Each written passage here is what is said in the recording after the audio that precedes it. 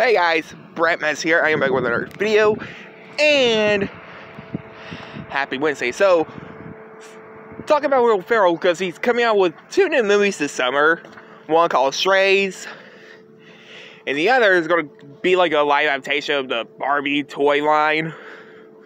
But besides the point, yes, uh, the funniest Will Ferrell scene in the, his movies.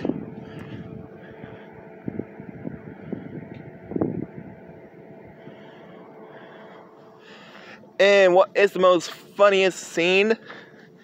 Well, it's from the other guys.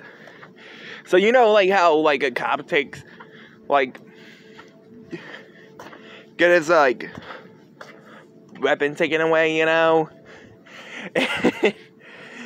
And uh, hold on, let me get into the live so I can tell you guys. Nice the scene. Alright guys, so the scene is well got his like I wanna say like thing took it away, like his weapon, you know, like like how officers like have like you know, anything they have on them. And Michael Keaton's character gave him a wooden gun that was made out of wood. It was pretty funny. He actually hit Mark Wahlberg's character in the face with that wooden gun. But anyway, guys, what's your guys' favorite Will Ferrell movie?